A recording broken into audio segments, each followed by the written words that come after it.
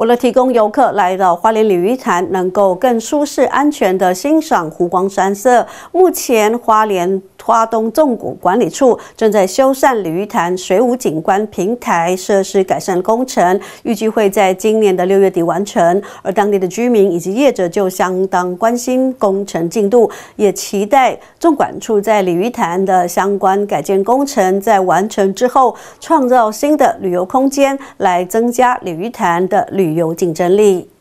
花东纵谷管理处目前正在进行鲤鱼潭水舞景观平台设施改善工程，预计在今年的六月底完工。当地居民以及业者都相当期待改善完成后的观景平台能够提供游客安全的景观设施。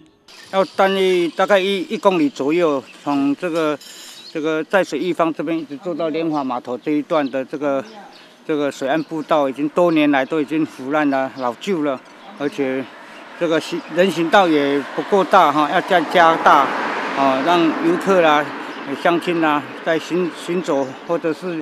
哎，践行的时候呢，能够很方便、很很舒畅这样子。潭溪观景平台临近台九丙线，让来到花莲鲤鱼潭的游客能够轻松欣赏到湖光山色，再次的提升游客的服务品质。不过，在国境开放之后，业者就明显感受到，疫情过后，国境开放，连续假期约少了三成左右的国旅游客。哇，现在最近客都是都是出国观光客比较多，所以国旅的人也是在相对。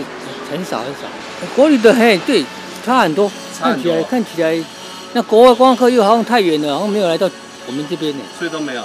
所以基本上真的是一天小猫几只。